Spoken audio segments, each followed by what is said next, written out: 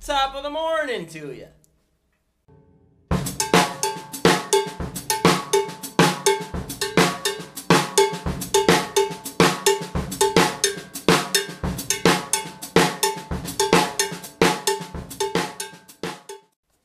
Hey, hey.